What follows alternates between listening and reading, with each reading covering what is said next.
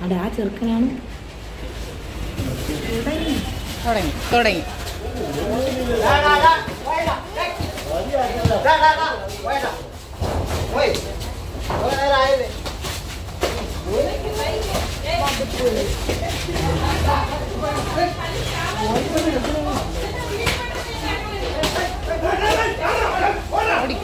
അടി അടി മാമ അടി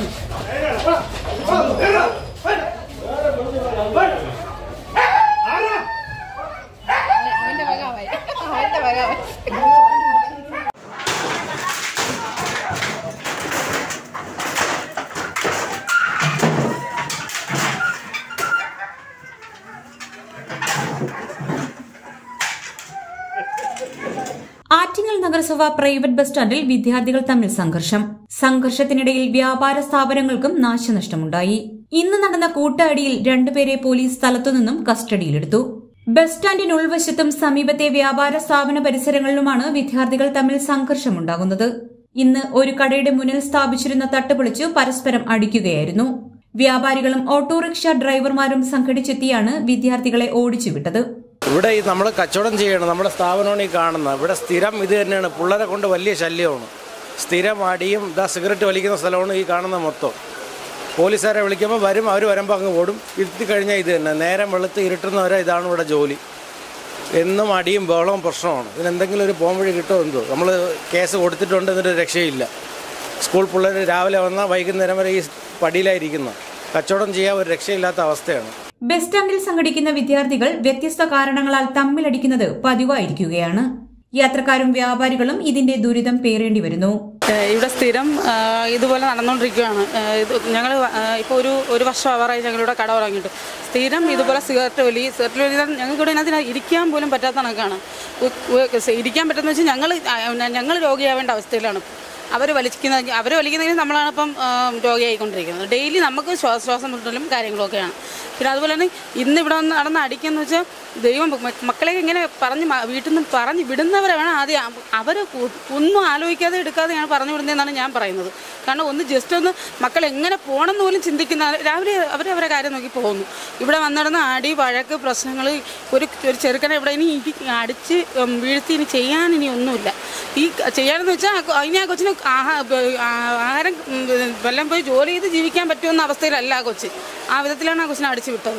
ഞങ്ങളിവിടെ നിന്ന് വിളിച്ച് ഞങ്ങൾ വിളിച്ച് വിളിച്ച് വിളിച്ച് അവസാനം സാഹിയായിട്ട് ഞങ്ങൾ ഇവിടുന്ന് ആട്ടോക്കാർ ഒരു വലിയ കമ്പ് എടുത്തുകൊണ്ട് അവർ ഓട്ടിച്ച് ഇവിടെ ഒരു നീ എന്തേരെന്ന് പറഞ്ഞാൽ ഇത് ഈ സിഗരറ്റ് വലിയും ഇവിടെയുള്ള ഈ ഇതും നിർത്തിയല്ലാതെ ഈ ഈ ഈ ഒരു ഏരിയ രക്ഷപ്പെടില്ല ഇന്നത്തെ ദിവസം മാത്രം മൂന്ന് സംഘർഷം ബസ് സ്റ്റാൻഡ് പരിസരത്തുണ്ടായിട്ടുണ്ട് രാവിലെ കട ഉറക്കാൻ വന്നാലേ ഇവിടുത്തെ അവസ്ഥ വളരെ ദയനീയമാണ്. കാരണം ഒരു പറ്റം പിള്ളേരാണ് കടയുടെ മുമ്പായി നിൽക്കുന്നത്. അവർ എത്ര പറഞ്ഞാലും അവർ കേൾക്കത്തില്ല. അവരിവിടെ തന്നെയാണ്. വൈകുന്നേരം ആയാലും അവർ പോകത്തില്ല. നമ്മൾ കട അടയ്ക്കാറായ പോലെ അവർ പോകത്തില്ല. എന്തെങ്കിലും പറയണമെന്നുണ്ടെങ്കിൽ അപ്പോഴും ചീത്തവിളി അല്ലെങ്കിൽ രൂക്ഷമായിട്ടുള്ള നോട്ടം കൂട്ടം ചേർന്നുള്ള സംസാരം ചിരി അങ്ങനെയാണ്. ഇപ്പോൾ ഫാമിലി ആയിട്ടൊരു കസ്റ്റമർ വന്നാൽ പോലും അവരെ നമുക്ക് കടയ്ക്കകത്ത് കയറ്റുമ്പോഴത്തേക്ക് തന്നെ അവർ വളരെ മോശമായ രീതിയിലാണ് അവരുടെ പ്രതികരണമൊക്കെ ഉള്ളത്. പലപ്പോഴും പോലീസിനെ വിളിച്ചിട്ടുണ്ട് വന്നിട്ടുമുണ്ട്.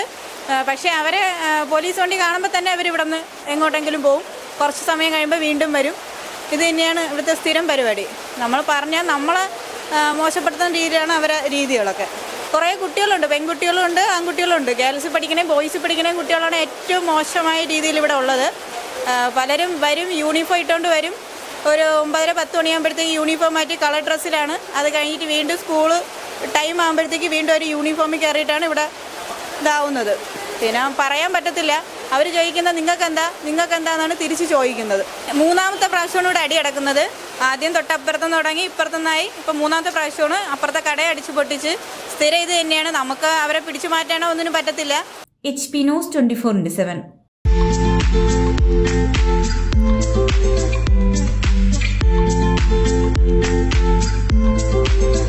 ആറ്റിങ്ങലിൽ ആദ്യമായി സിറയുടെ സ്റ്റൈലിയർ showroom Saroor sanitary.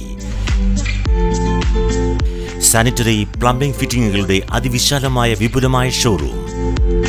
V Guard Kirloskar Bindu pumps തുടങ്ങി പ്രമുഖ ബ്രാൻഡുകളുടെ പമ്പുകൾക്കായി പ്രത്യേക ശ്രേണി.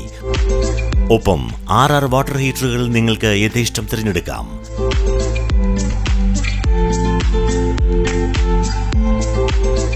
രണ്ടായിരം രൂപ മുതൽ രണ്ടര ലക്ഷം രൂപ വരെ വിലമതിക്കുന്ന ക്ലോസറ്റുകൾ സുലഭം.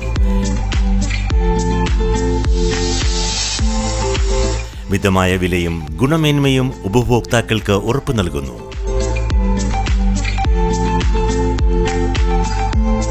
സെറയുടെ സരോ സ്റ്റൈലിർ ഷോറൂം സരോ സാനിറ്ററി നഗരസഭയ്ക്ക് സമീപം Attingal.